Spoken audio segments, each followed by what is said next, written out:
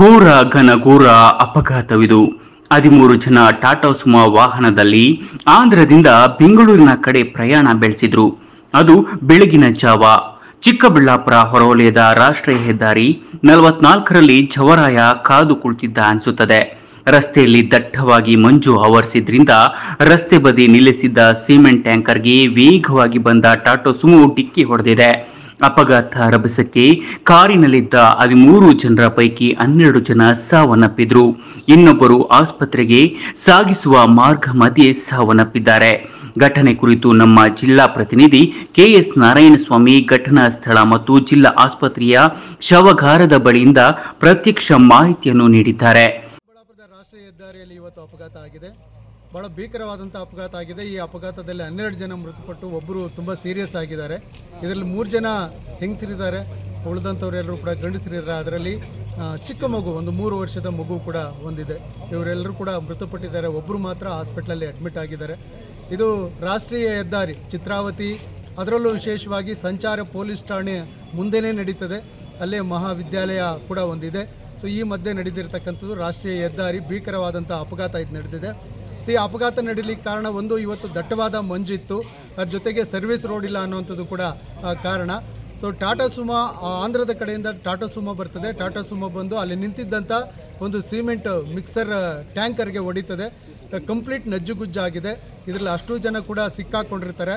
ಅಲ್ಲಿನ ಪೊಲೀಸವರು ಮತ್ತು ಜನರೆಲ್ಲ ಕೂಡ ಸೇರಿ ಆ ಸ್ಪಾಟ್ನ ಸ್ಪಾಟನ್ನ ಬಂದು ಸ್ಪಾಟಲ್ಲಿ ನೋಡಿಬಿಟ್ಟು, ಆ ಸಿಕ್ಕಾಕೊಂಡಿರ್ತಕ್ಕಂಥ ಎಲ್ಲ ಶವಗಳನ್ನು, ಆ ಡೋರ್ಗಳನ್ನು ಕಿತ್ತು ತೆಗೆದು ಹೊರಗಡೆಗೆ, ತೆಗೆದು ಆಂಬ್ಯುಲೆನ್ಸ್ಗಳಲ್ಲಿ ಹಾಸ್ಪಿಟ್ಲಿಗೆ ರವಾನೆ ಮಾಡ್ತಾರೆ. ಸುಮಾರು ನಾಲ್ಕು ಆಂಬ್ಯುಲೆನ್ಸ್ಗಳಲ್ಲಿ ಚಿಕ್ಕಬಳ್ಳಾಪುರದ ಜಿಲ್ಲಾ ಆಸ್ಪತ್ರೆಗೆ ಅವ್ರನ್ನ ರವಾನೆ ಮಾಡ್ತಾರೆ. ಸೊ, ಅಷ್ಟು ಜನರು ಕೂಡ ಮೃತಪಟ್ಟಿದ್ದಾರೆ. ಚಿಕ್ಕಬಳ್ಳಾಪುರದ ಇತಿಹಾಸದಲ್ಲಿ ಇದು ಮೊಟ್ಟ ಮೊದಲ ಬಾರಿಗೆ ಇಷ್ಟು ಜನ ಒಂದೇ ಸಾರಿ ಸ್ಪಾಟಲ್ಲಿ ಮೃತಪಟ್ಟಂಥ ಒಂದು ದೊಡ್ಡ ಅಪಘಾತ ಅಂತೇಳಿ ಕೂಡ ಹೇಳ್ಬೋದು.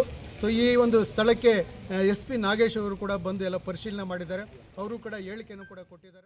ಮೃತರನ್ನು ಕೊತ್ತಚಿರುವಿನ ಪೆರಿಮಾಳ್ ಪವನ್ ಕುಮಾರ್, ಬೆಂಗಳೂರು ಕಾಮಾಕ್ಷಿ ಪಾಳ್ಯದ ಸುಬ್ಬಮ್ಮ, ಬಾಗೇಪಲ್ಲಿ ಮಾರ್ಗಾನುಕುಂಟೆಯ ನರಸಿಂಹಮೂರ್ತಿ, ತಾಯಿ ಅರುಣ, ಮಗ ಋತ್ವಿಕ್, ಪೆನುಗೊಂಡದ ಶಾಂತಮ್ಮ, ಮಗ ರಾಜವರ್ಧನ್, ಚಾಲಕ ನರಸಿಂಹಪ್ಪ ಎಂದು ಗುರುತಿಸಲಾಗಿದೆ. ಈ ಸಂದರ್ಭದಲ್ಲಿ ಜಿಲ್ಲಾ ರಕ್ಷಣಾಧಿಕಾರಿ ಡಿಎಲ್ ನಾಗೇಶ್, ಜಿಲ್ಲಾಧಿಕಾರಿ ರವೀಂದ್ರ, ಈ ನ್ಯೂಸ್ ಟಿವಿಯೊಂದಿಗೆ ಮಾತನಾಡಿದ್ದಾರೆ.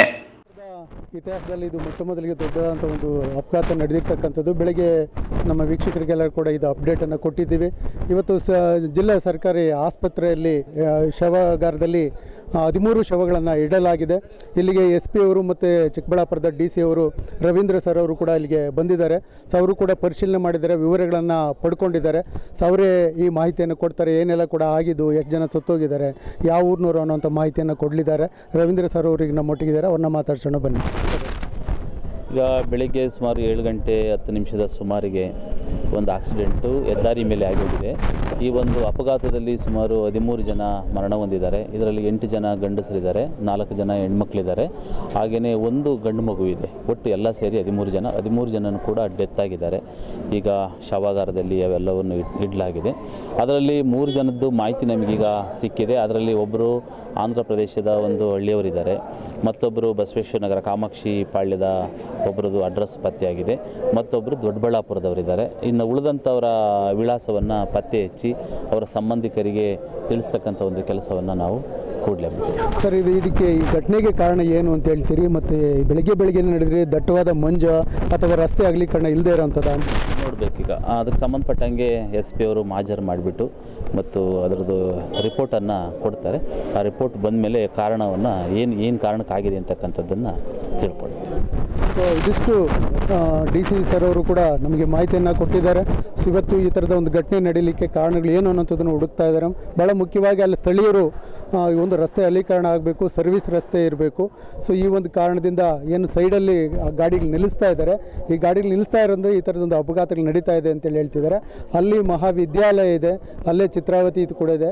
ಅಲ್ಲೇ ಸಂಚಾರಿ ಪೊಲೀಸ್ ಠಾಣೆ ಕೂಡ ಇದೆ.